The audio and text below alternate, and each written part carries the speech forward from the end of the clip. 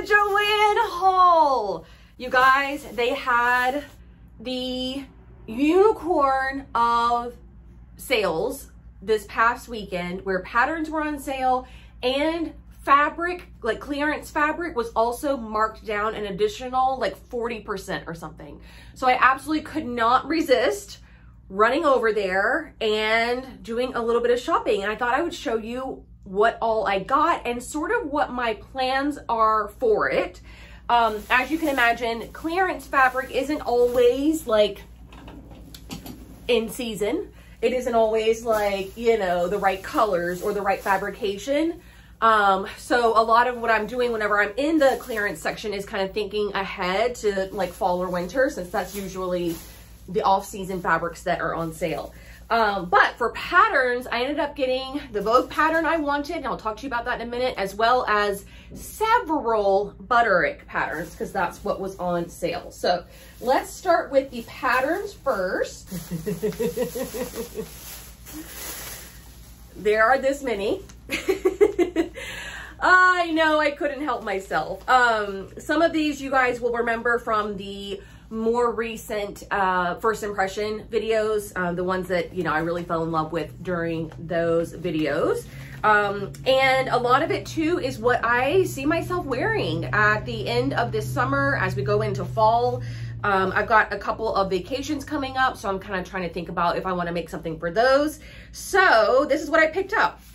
This is, let me look at the actual pattern number for this because this was one of the display patterns. So this is Butterick 6881. I don't know why they do different numbers when they're on display. That's so annoying. But 6881, this really cute jumpsuit with kind of like the asymmetrical bodice with the buttons. I just thought that would be, you know, really adorable for fall, but I could also make um, like a summery, well, like an early or late summer version um, with shorts. And I love all the different sleeve options. And I particularly love the wide leg on this guy here. So I thought that would be really fun and practical, you know, kind of like a seasonless type of jumpsuit. Still loving wearing the jumpsuits. I don't see them going anywhere for a while. Do you guys? Um, next up, I got Butterick 6350. Now this is kind of like a vacation vibe if I've ever seen one. This is from 2016. It's kind of like an oldie but a goodie. Um, and I just love kind of like the flowiness of it all, just the easy breezy, lightweight. I imagine, I mean, really, truthfully, you could make this out of anything from rayon challis all the way up to like even like a linen or something. And I think it would be really adorable. So gonna shop the um, fabric stash for this one. And I think it'd be really quick too, right? It's only a couple pattern pieces, probably a facing, boom, boom, boom, done. You know, bit of a fabric hog though, because all that width in the fabric or in the skirt. But um, yeah, I think she's gonna be really cute. So excited about her. Then I got Butterick 6621. You guys probably remember this one from back in the day. This one's from well, last year, so not that long ago. Um, I think I saw everybody and their brother make View C, um, but I'm in love with View A. Anything that is going to conceal a tummy, I am here for her. Um, plus, this will be a great way to use up some of the mid-weight kind of uh, knit fabrics that I have in my stash. I, um, again, with all the sleeve options, you could even make her sleeveless, and I think that she would be a really great option for like, a, again, a seasonless type of situation. So all of my knit fabrics are on this, oh, I stepped on a puppy, um, are on this section here. And I do have some really great mid-weight options that would be good for something like this. So excited to try that one. Again, probably pretty simple, right? Couple pattern pieces, you throw it together, bias binding, and you're done. Um, this one is Butterick 6728, and I don't know, I was just kind of called to the ruffle sleeve. Obviously, I love a ruffle sleeve. I also love the like little center band. I don't know what you want to call that. Um, I don't know. I the yellow version is obviously something more like what I would make versus that like patchwork option. But again, it's got an empire waist, a little bit set up a little bit higher on the body. So again, super breathable and comfortable for the belly. I imagine if you're pregnant, which I am not, um, this would be a really great option for you as you grow into your belly. But, you know, really modest and sweet and, you know, really nice for like a summer night out, right? Super cute. Um, I can see myself doing the contrast too, the blocking of it all. Um, so yeah, I really like this one, six, seven, two, eight.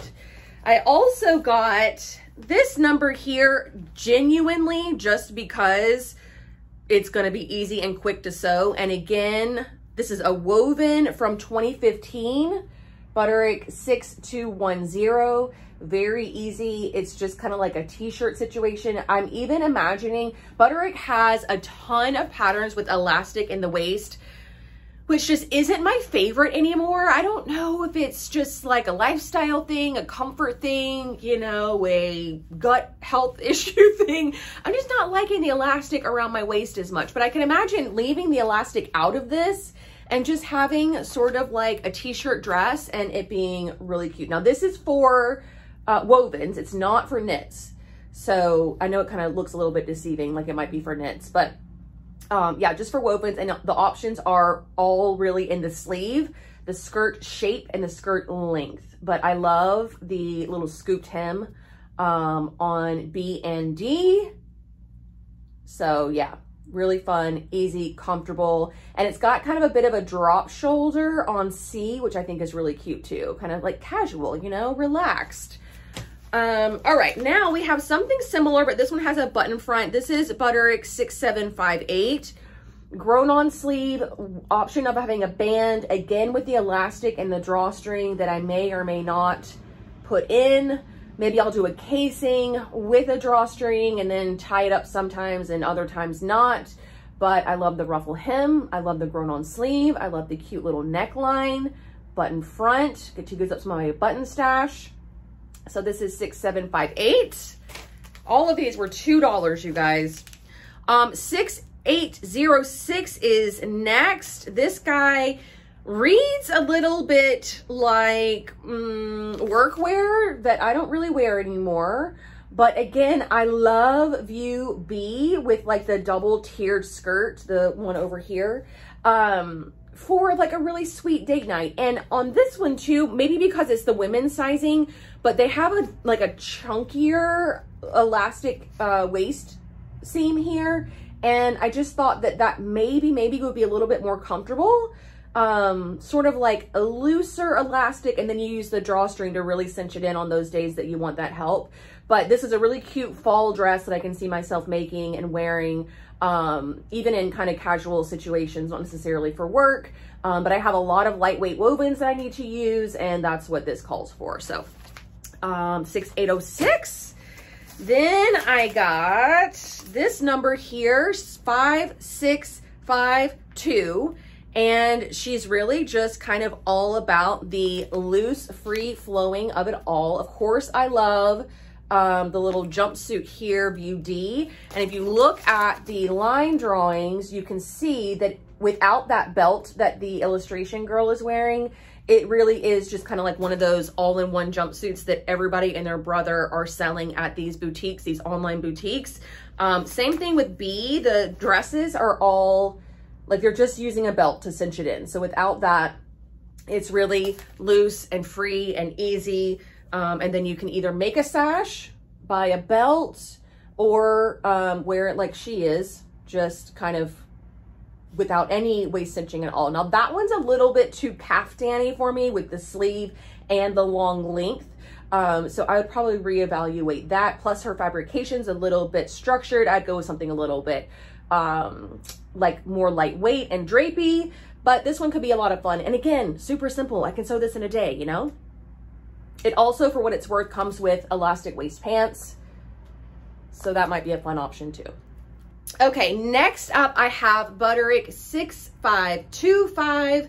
This is sort of a redemption garment. I made one similar to this. It was a Vogue pattern by one of the designers, I can't remember, and it just drowned me. It's one of my like sewing fails it's just like stuck in my mind. Um, and so this reminded me of that with kind of like the dolman sleeve, the kind of slouchy bodice, but then somewhat sort of fitted skirt.